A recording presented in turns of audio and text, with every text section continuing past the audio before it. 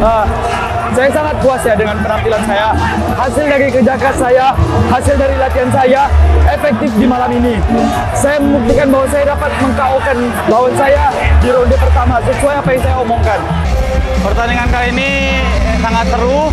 Ya walaupun saya over tapi saya puas. Saya sangat terbaik pada lawan saya. Thank you. Karena saya sempat kewalahan, karena ekspektasi saya, saya nggak bakal sampai babak belur begini atau ada kesulitan. Cuma tadi ada sedikit kesulitan di bawahnya. Semua karena hard work kan. Sebelum pertandingan kita ada persiapan mati-matian. Jadi pertandingannya tadi sebenarnya berat sih, cuman belum ada apa-apa dibanding latihan. Jadi ya biasa aja. Biasa aja. Aku ini pers gua persembahkan buat teman-teman aku yang berada di Bandung, saudara-saudara aku yang ada di Kerinci, Jambi, seluruh semuanya Indonesia. Aku terima kasih selama ini telah berdoa gitu.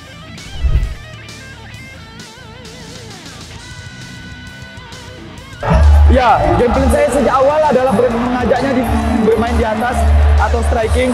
Namun, apabila pertarungan terjadi di bawah atau ground fighting, saya akan selalu siap dan saya membuktikannya. Kurang karena saya tadi sedikit blank di awal. Mungkin karena dehidrasi karena kurang minum. Tapi saya juaranya. Kayaknya saya kurang apa?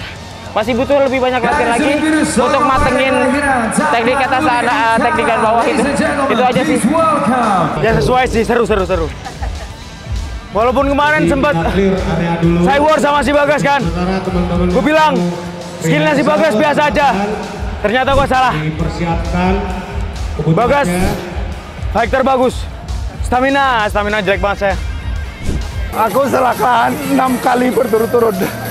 Ya, selama ini aku kan kalah terus. Aku berusaha bangkit. Gimana cara aku tuh bisa bangkit lagi? Biarpun di lecehin apa, aku berusaha. Aku apa, berusaha tidak peduli dengan omongan orang.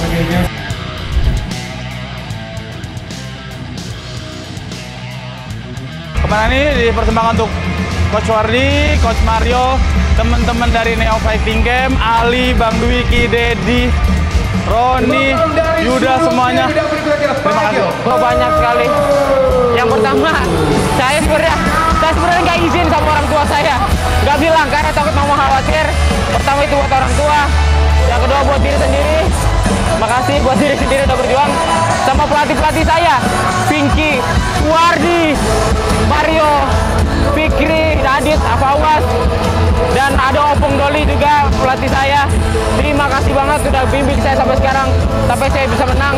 Dan untuk saya pertemuan buat teman saya ini, ada Ali, ya, ini medali, medali saya sebahin buat dia juga. Dia nanti bakal menang juga, Ah, maksudnya mau tinggal nunggu panggilan buat fight lagi, tinggal nunggu panggilan untuk fight di One Red. Semoga medali ini motivasi dia buat menang di pertandingan yang dia dapati nanti. Yang pertama, tentunya buat anak sama istri. Alasan saya ada di sini, saya masih ber- bertarung sampai saat ini karena anak dan istri itu. Yang kedua buat pelatih, teammates, semua tim di Bali MMA. Karena tanpa kalian semua, mustahil gua menang di sini. Aku persembahkan buat teman-teman aku, saudara-saudara aku yang ada di Buayes di Bandung. Dan saudara-saudara aku, teman-teman aku yang ada di Kerinci, seluruh Jambi. Terima kasih telah mendukungin aku, support aku gimana. Aku dipukul, aku gak bakal sakit, kok gak bakal nangis. Kalau aku diapain, aku nangis. Sekarang aku sedih. Saya mengucapkan terima kasih kepada Bang Denny Arianto Lubis yang telah mensupport kami sampai sejauh ini, mensupport tim kami Rio Blaze Team, dan juga kepada Bang Iwan Pansa, Ketua Pemuda Pancasila Kota Pekanbaru yang mensupport kami hingga sejauh ini. Terlebih lagi kepada pemilik Impact, Komentro, seluruh pelatih-pelatih saya yang mensupport dan memfasilitasi latihan saya, mendukung latihan saya hingga saya mendapatkan kemenangan yang bersih pada malam hari ini.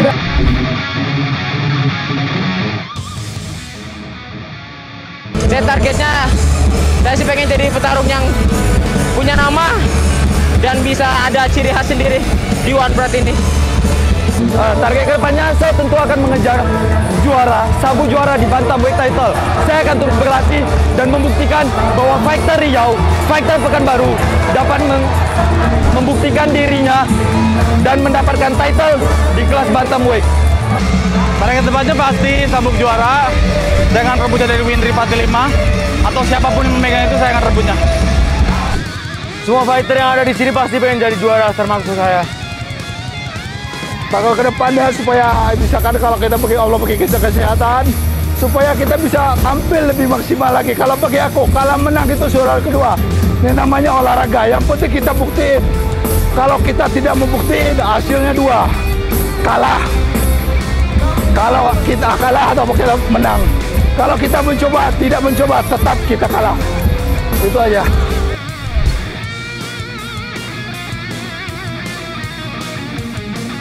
Rival kita idola saya adalah Mas Wardi yang tua, berwibawa, masih begitu sehat badannya dan tidak pernah menyerah untuk selalu berjuang. Tuhardi Wisalau, guru saya sendiri ya.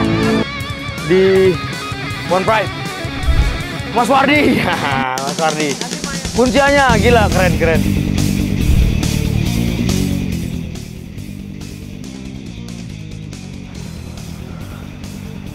Pesannya, saya ingat kata-kata Prof. Hansino Tirta aja sih, ya kan?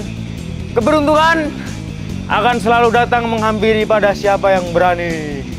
Itu aja dari Prof. Fransino Tirta, pesannya buat semua orang. Saya berharap seluruh warga Riau, warga Pekanbaru dapat mendukung saya hingga saya mendapatkan sabuk dan membawanya pulang ke tanah kelahiran kita sendiri.